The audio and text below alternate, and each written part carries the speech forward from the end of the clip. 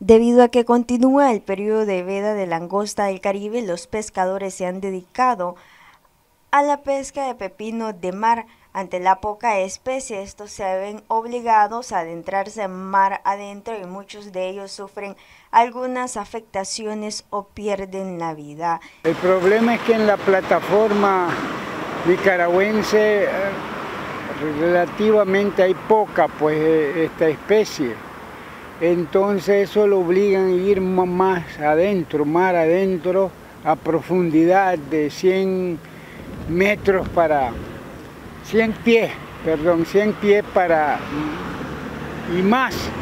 Entonces hay afectaciones a la vida de los buzos, ¿verdad? Em, salen afectados sus extremidades inferiores que quedan paralíticos o desaparecen en el mar o, mueren pues eh, producto de, las afectaciones que sufren.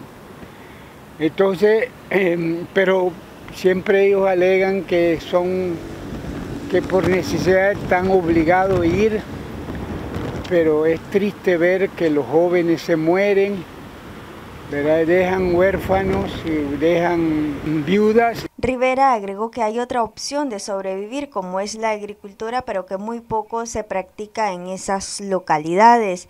Ese es un tema que no se aprovecha para nada, más bien em, la gente se conviene, viene concentrando más en las actividades pesquera, porque eso es más rápido, genera más ingresos y... Noticias 12, Darlene Telles.